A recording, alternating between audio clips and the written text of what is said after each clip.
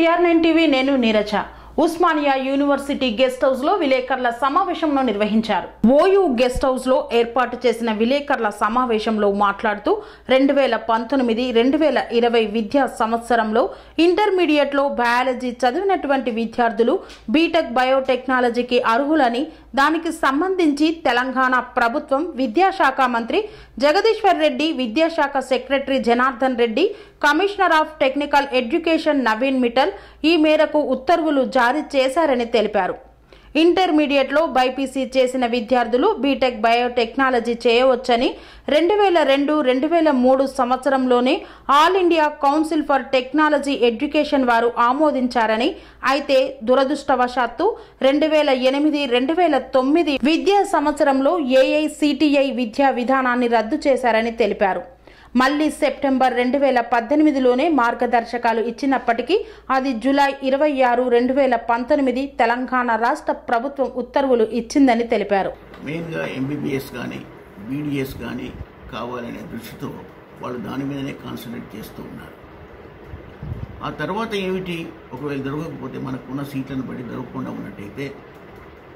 వాళ్లకు బయోటెక్నాలజీ చేయాలి అనే ఒక ఆశ ఉంది కానీ ఇప్పటి వరకు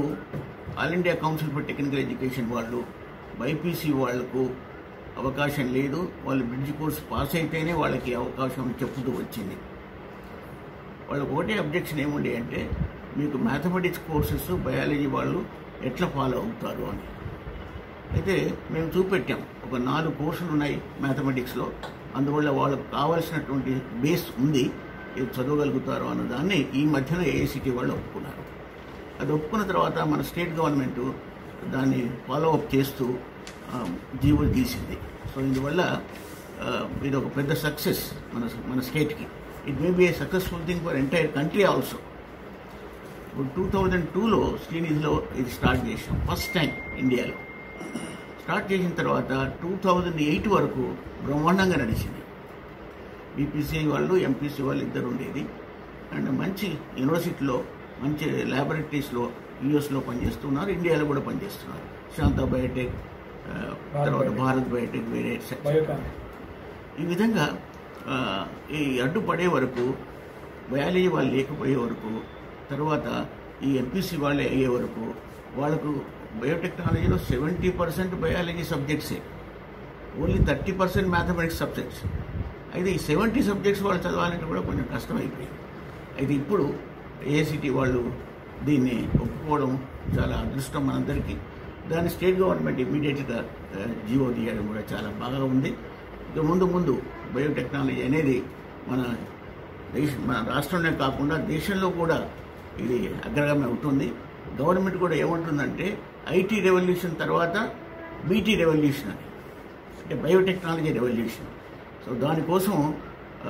డిటర్మిన్ అయ్యి డిపార్ట్మెంట్ ఆఫ్ బయోటెక్నాలజీ వగేరా సెంటర్ లెవెల్లో చేశారు చాలా రీసెర్చ్ కానీ ఇస్తున్నారు వాటన్నిటి మనం తీసుకొని ముందుకు పోవచ్చు ఇది ఒక శుభోత్తరణం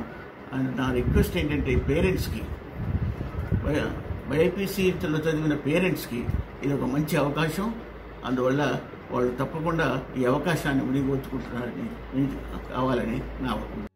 సెరెనిటీ మోడల్ హై స్కూల్ విద్యార్థులకు అమ్మఒడి సామాన్యులకు అందుబాటులో ఉన్న బడి సెరెనిటీ మేడ్చల్ జిల్లాలో మేటిగా నిలిచి సాటిలేని ఫలితాలను సాధిస్తున్న నెంబర్ వన్ స్కూల్ సెరెనిటీ మా ప్రత్యేకతలు ప్రతి విద్యార్థి పట్ల వ్యక్తిగత శ్రద్ధ activity based learning and digital classrooms computer lab hundred percent ఫలితాలు sports and cultural activities yoga abacus మరియు Vedic maths education please visit